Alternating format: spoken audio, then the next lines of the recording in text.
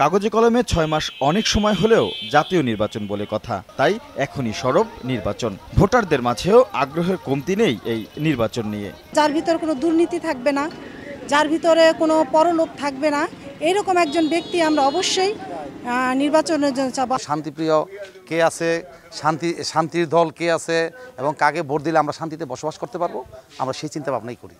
একাধিক মনোনয়ন প্রত্যাশী আধিপত্য নিয়ে আওয়ামী লীগে অভ্যন্তরীণ কোন্দল থাকলেও স্থানীয় নেতৃত্ব বলছে নির্বাচনের আগেই মিটে যাবে সব। এছাড়া সরকারের চলমান উন্নয়ন ধরে রাখতে নৌকাই ভোটারদের আস্থা থাকবে বলে মনে করেন তারা। এই অঞ্চলের মানুষ বুঝে আওয়ামী লীগ মানে উন্নয়ন, আওয়ামী লীগ মানে গতিশীলতা আসা, আওয়ামী লীগ মানে সুশাসন প্রতিষ্ঠিত করা, সে কারণে জননেত্রী শেখ হাসিনার প্রতি এই নির্বাচনী এলাকার শ্রীনগর সিরাজদি খানের মানুষের ভালোবাসা রয়েছে, আস্থা রয়েছে।